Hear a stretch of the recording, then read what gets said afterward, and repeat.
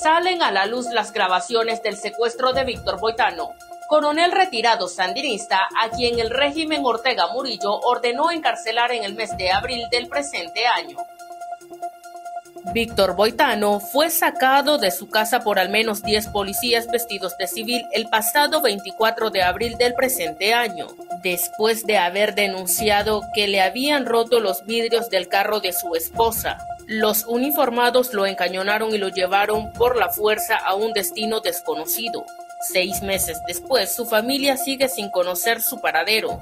Víctor Boitano en ese momento llevaba ocho meses en Nicaragua y después de vivir cinco años en Italia, país del que adquirió la nacionalidad, se fue en el año 2018 y regresó en septiembre del año 2023 para asistir a la graduación universitaria de su hija Rosana y porque también extrañaba a toda su familia fueron las declaraciones brindadas de su esposa a la prensa. Las grabaciones del secuestro de Boitano también fueron publicadas por la prensa. Y tras meses sin obtener información de Boitano, cansada del asedio policial en su vivienda, de las amenazas telefónicas, de la persecución de vehículos sin placas y de una peligrosa recaída de salud con síntomas de derrame, Eugenia Valle, esposa de Boitano, abandonó el país por un punto ciego el 11 de octubre. Decidimos salir todos de Nicaragua para denunciar ante los organismos de derechos humanos y los gobiernos el secuestro de mi esposo.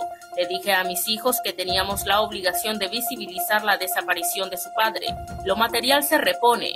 Víctor es un hombre de 63 años que padece de varias enfermedades crónicas, como diabetes, hipertensión y delirio de persecución, diagnosticado por médicos de diferentes países. Es parte de las declaraciones de su esposa brindadas a la prensa. Cabe destacar que fuentes confiables relatan que Boitano está detenido en el temido infiernillo, como se le conoce a la Galería 300 del Sistema Penitenciario Nacional Jorge Navarro, la modelo donde el régimen envía a reclusos peligrosos o a presos políticos a quienes desea quebrantar. En los interrogatorios, al ex coronel le mencionan la acusación de Quiñones de ser responsable de los disparos en agosto del año 2011, el supuesto plan de secuestrar a Camila Ortega, de organizarse con militares en retiro en el extranjero para desestabilizar al régimen y los libros que escribió contra Ortega.